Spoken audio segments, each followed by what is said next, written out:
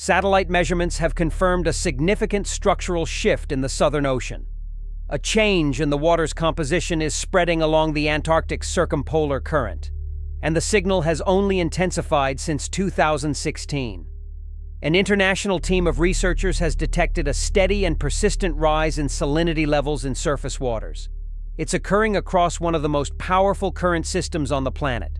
This isn't what scientists expected models had consistently pointed toward freshening. Melting glaciers and declining sea ice should dilute the Southern Ocean with fresh water. But the surface is becoming more saline instead.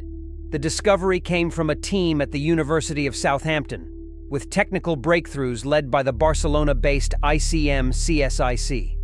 They developed a new algorithm to process satellite data from the European Space Agency's SMOS mission, unlocking a part of the planet that had remained largely unreadable until now. This change matters. Saltier water is denser, it sinks more easily, dragging down cooler surface water and pulling up warmer layers from below. That vertical mixing increases the flow of heat upward toward the base of sea ice. Ice that once melted from wind and sunlight above is now being eroded from below by warm, rising currents. That same process also affects the release of carbon. Deeper waters in the Southern Ocean store massive amounts of CO2.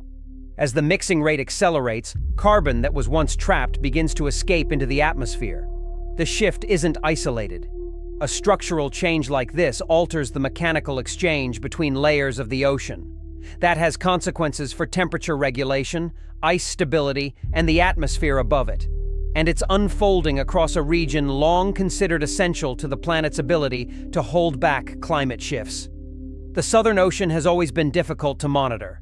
It's remote, volatile, and ice-covered for much of the year. Traditional satellites struggled to collect clean data across its surface. That changed when the Barcelona Expert Center, a lab within ICM CSIC, built a new processor tailored for polar variability. It allowed ESA's SMOS satellite to produce high-resolution surface salinity readings for the first time in this part of the world. The improvement was immediate, and what emerged was unexpected. The Southern Ocean isn't just a cold patch around Antarctica. It's one of the most important climate control systems on Earth. It absorbs more heat and carbon than any other ocean region and drives circulation patterns that affect the entire globe. As its structure shifts, that function weakens. More heat escapes upward, more carbon leaves the water column, and the stability of long-standing circulation patterns becomes uncertain. One system already under strain is the Atlantic Current, known as the AMOC. If the Southern Ocean begins to push more heat and carbon into the air, it could add stress to that system too. This isn't a slow drift. Since 2016, the trend has continued without reversal. Sea ice is thinning. The surface is more saline, and that pattern is spreading. Europe, South America, the Indian Ocean Basin, these regions are all tied to the rhythm of deep ocean flow. Any change in one part of that network can affect the whole system. In response, the European Space Agency has launched two new missions, Arctic Flow, focused on freshwater and density changes in the north, and CCI OSHF, tracking ocean surface heat flux around the globe.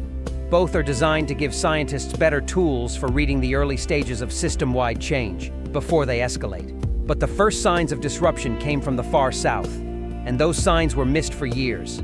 What changed was a layer of water.